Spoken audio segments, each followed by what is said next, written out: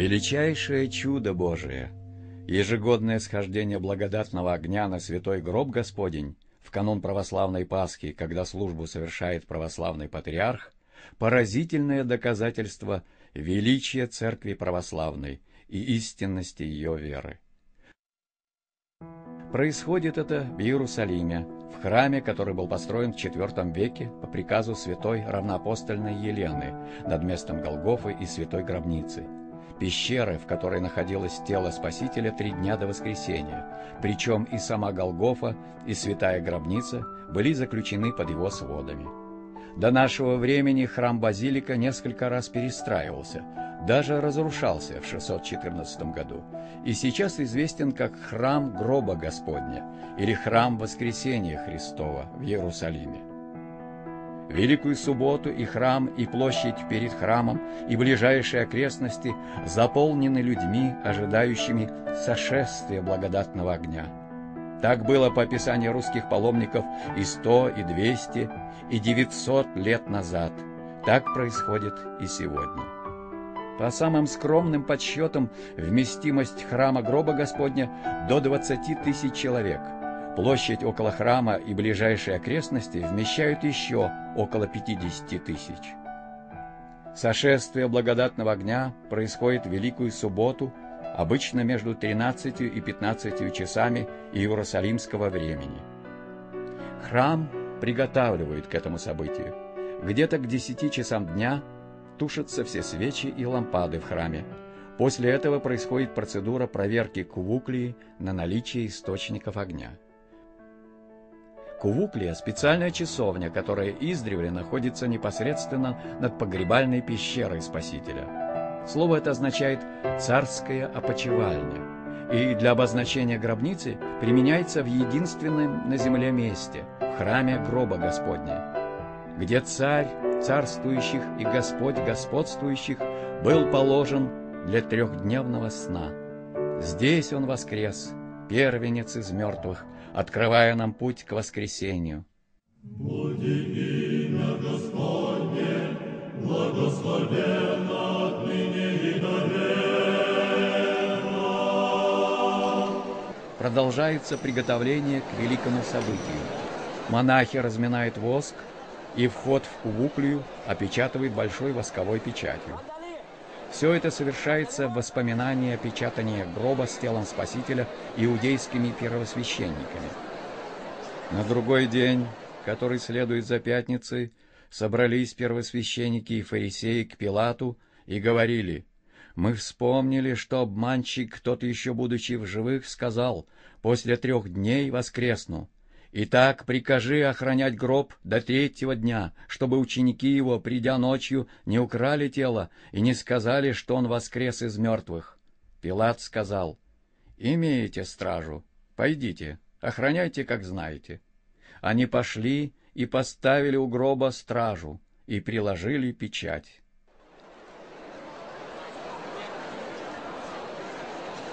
Своей личной печати на Большой Восковой ставят осуществлявшие проверку представители мэрии Иерусалима, турецкой стражи, израильской полиции.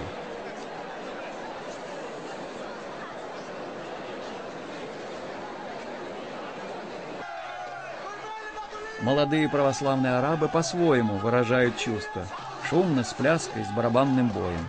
Это традиционный ритуал, о времени установления которого нет свидетельств.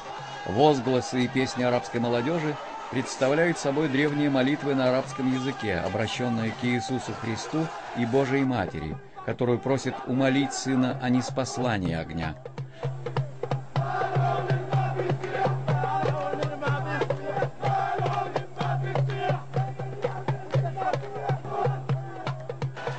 Сначала изредка, а затем все сильнее и сильнее, все воздушное пространство храма пронизывают световые сполохи, вспышки света.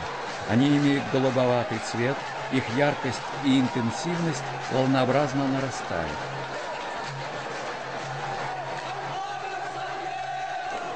Продолжается приготовление к великому событию. Уже снята восковая печать. Ее разделяют на маленькие кусочки и раздают верующим. Через некоторое время, как правило, около 13 часов, начинается летание. В переводе с греческого «молитвенная процессия благодатного огня». Это крестный ход от алтаря Кафаликона через весь храм к и троекратным обходом к. Впереди хоругвеносцы с двенадцатью хоругвями, за ними отроки с репидами, клирик-крестоносец и, наконец, сам блаженнейший патриарх Иерусалимский. В крестном ходе участвует и игумен с иноками монастыря Савы Освященного. Из всех древних монастырей Иудейской пустыни сохранилась в первозданном виде только эта лавра в 17 километрах от Иерусалима, невдалеке от Мертвого моря, и его монахи являются обязательными участниками таинства схождения благодатного огня. Патриарх останавливается перед самым входом в Кувуклию, его разоблачают, снимают праздничные ризы, оставляя в одном белом подряснике. При этом иногда патриарха обыскивают, хотя это и не осуществляется каждый раз в обязательном порядке, но представители власти могут воспользоваться всякий раз этим правом,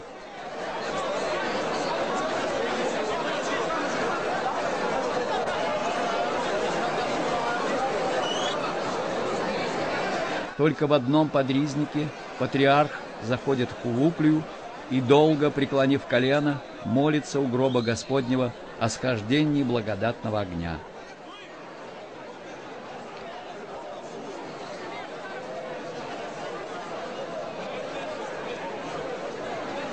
Напряжение достигает высшей точки. Многих их собравшихся охватывает ощущение, что по их грехам великое чудо может не произойти – все пронизаны чувством сопричастности великому событию, происходящему не более двух тысяч раз за всю историю человечества. За это время успели развиться, прославиться и погибнуть великие империи. В житейском укладе людей произошли огромные изменения, но неизменно совершается это великое чудо схождения благодатного огня.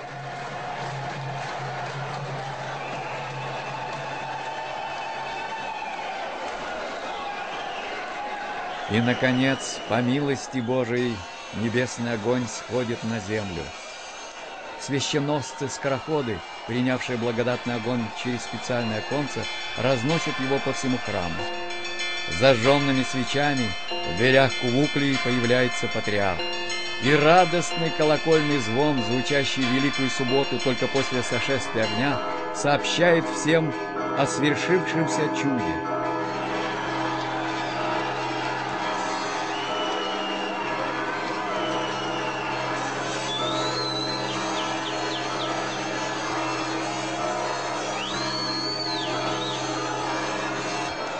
Пасхальная свеча храма гроба Господня – это 33 соединенные свечи. В основном у каждого в руках по три пучка свечей и свечи из других мест Святой Земли. Это настоящий костер, от которого исходит сильный жар. Однако небесный огонь имеет уникальное свойство. Первые минуты он не обжигает, и люди буквально омываются благодатным огнем.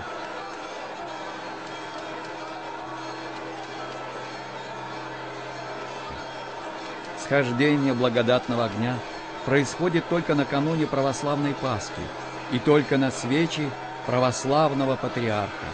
История помнит два случая, когда пытались получить огонь представители иных христианских конфессий. В 1578 году армянские священники договорились о передаче права получения благодатного огня представителю армянской церкви. Православного патриарха даже не пустили в храм гроба Господня. Армянские священнослужители вошли к Увуклию, но их молитвы не были услышаны. Стоящие у закрытых дверей храма православные священники тоже обращались с молитвами к Господу. Внезапно послышался шум, колонна у дверей храма треснула, и из нее вышел огонь и зажег свечи в руках у Иерусалимского патриарха. Следы исхождения небесного огня до сих пор можно видеть на одной из колонн, расположенных у входа в храм. С тех пор больше никто не оспаривал право получить благодатный огонь. Несомненно, что сошествие огня в Великую Субботу на гробе Господнем есть результат непосредственного божественного воздействия. Господь повелевает каждый год на протяжении почти двух тысяч лет на месте своих крестных страданий и земной смерти сойти огню в день накануне своего воскресения –